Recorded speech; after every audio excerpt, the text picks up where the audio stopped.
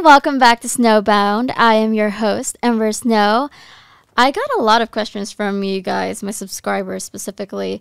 So I am going to be going through all of that with you guys. The topic for today is going to be personal relationships, mine specifically.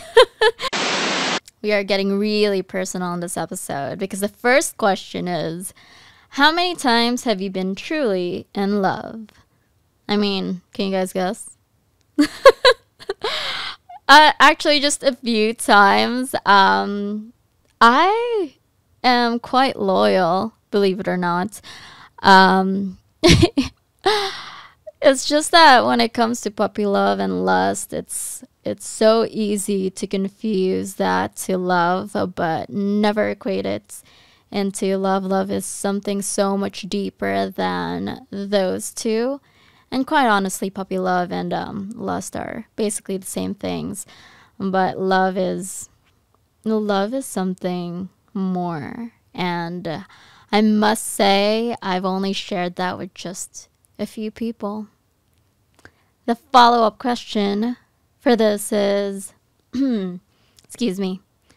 Do you believe in long term monogamous relationships or marriage?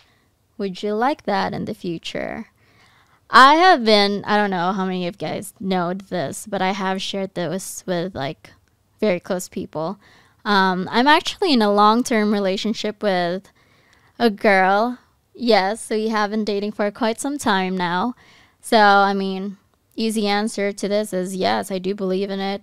If marriage happens, it happens in the future. Right now, we're just enjoying each other's company and learning a little bit more about each other every day. Next is how do you show someone that you love them? Okay, this is this is going to be indescribable for me. So I can't really I can't really answer this question actually because the things that I do for my girlfriend is very specific and unique it's not something that I've ever done with another person that I had a long term relationship. So I, I can't share. I don't know what to answer, but that she knows.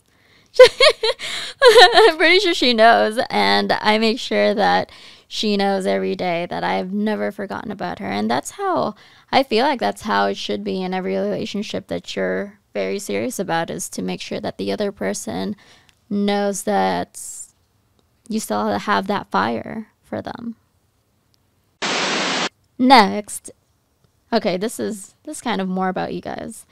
If I met you in public, what's the best way to approach you? Okay.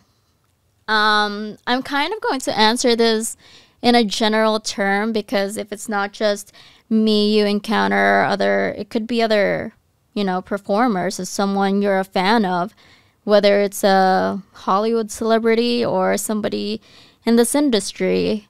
Um, just the main thing that I want to tell you guys is to respect their time, respect my time. Because when we're out in public, we could be doing something very personal already. It's it's still part of our private time. Like, have you ever met your teacher outside of school? Like, you know you kind of it's kind of awkward but at the same time it's kind of intriguing.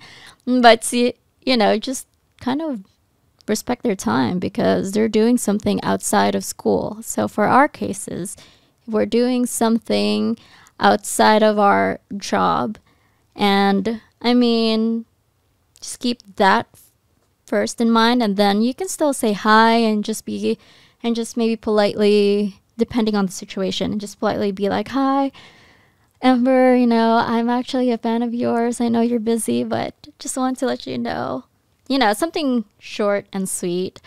Um, we are always very um, appreciative, and we, I mean, we love knowing that you guys exist. But yeah, just be respectful at the time. I mean, I'm gonna give you guys an example.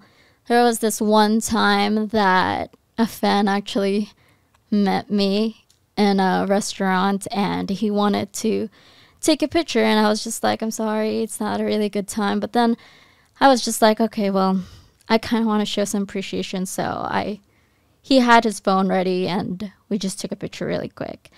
But the thing is, when I did that, the other fans who were in the area came out of the woodwork and was just like, "Oh, can I take a picture with you too?" Like four other guys came up to me. I was just like, I don't normally do this, but oh my god, I cannot have this happen again because I was with someone at the time too, so it's kind of like I have to think about their time as well. So it's not just mine, but it's also whoever it is I was with.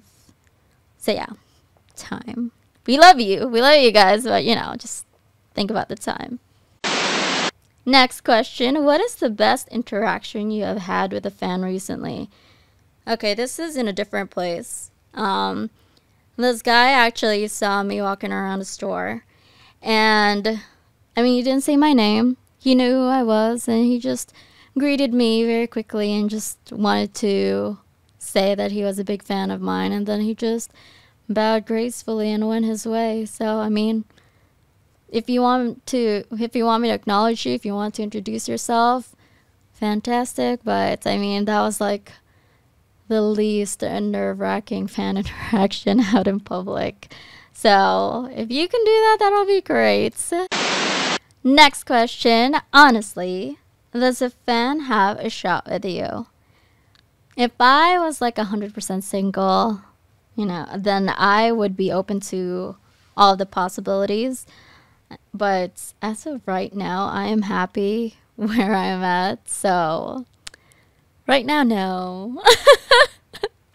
I mean, just wanting to be honest with you all, but yeah, it doesn't mean that we can't still be together somehow, some way.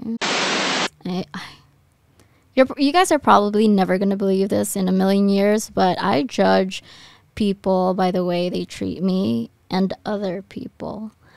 But I mean, that goes for anything, but um, as of right now, not looking into anything more. That is the end of the episode. Catch me in another episode of Snowbound because I'm not done with you guys. Stay tuned.